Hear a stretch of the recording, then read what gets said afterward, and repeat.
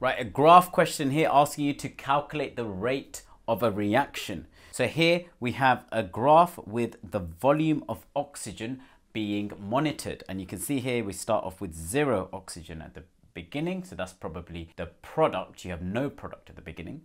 And as the reaction goes on, the amount of oxygen increases because more and more product is being formed. Here, where the reaction goes flat, we can assume the reaction has finished because there's no more oxygen being produced here.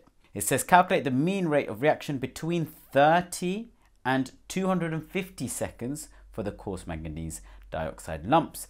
They've given us an equation here to work it out and it says give your answer to three significant figures. So in that equation it says volume formed over time taken. So let's work out the volume of oxygen formed. It says between 30 and 250 seconds. So let's go to 30 seconds first of all. So 30 is around here. So let's work out what that volume is. Let's go up and across and the volume there is 20. Let's do the same for 250 here, which is around here. We're going to go up and across just like before and you can read the graph here as 1 square below 60, so that's around 58. So we got 58 and 20 here.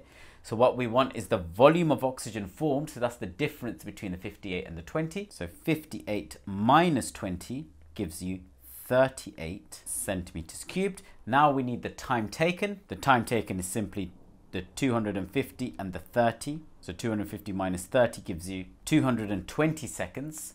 We want to find out now the rate in centimeters cubed per seconds. So you just need to divide those two numbers now. So 38 divided by 220. When you put that in your calculator, you should get 0.1727. Now the question clearly says give your answer to three significant figures. If it ever tells you that, it means you get an extra mark for doing that.